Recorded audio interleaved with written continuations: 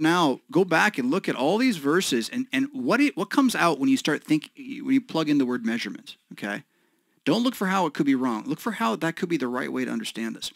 Perversity is in his heart. He devises evil continually. He sows measurement. Hatred stirs up measurement, but love covers all sins. A brother offended is harder to win than a strong city, and measurements are like the bars of a castle.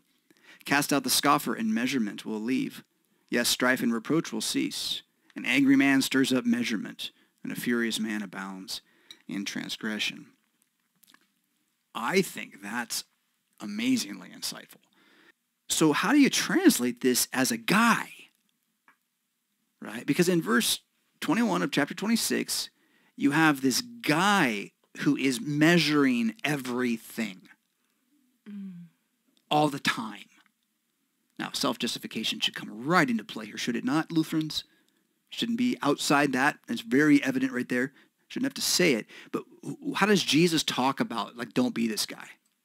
It's pretty clear. Judge not, lest ye be judged, he says. Like, it doesn't mean never make a decision about anything. It means don't be the measurement guy. You could maybe call this guy picky. He's, he's overly focused on the details. That's fair enough, you know. Uh, a picky man kindles strife. Yeah, that's about right. Yeah. Uh, and then, so here's the word I would use, though, if I did like the Jonathan Fisk New World Translation or whatever, um, uh, politicking. Mm. He, the politician is measuring every single word, every smile, every look. It's all give and take. It's all a game. So, you know, as charcoal is to burning coals and wood to fire, so is a political animal to kindle strife. Well, that's that's profound, I think, personally. And, and then, so what? What is the talebearer? Well, it's the female version of a political animal,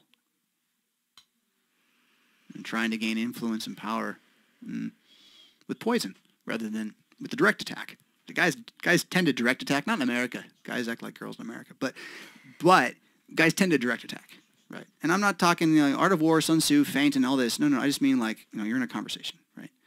Guys direct attack, um, and girls are gonna you know work around the edges, and that you know that could be to our benefit, frankly. Um, but it, it isn't when you do it in corners to destroy people's lives because you're what? what I don't want to accuse anyone of what they are. All I know is like these words don't bear well. For anybody who's spending a lot of time on the internet talking about other people, more than they're spending at least in the word themselves.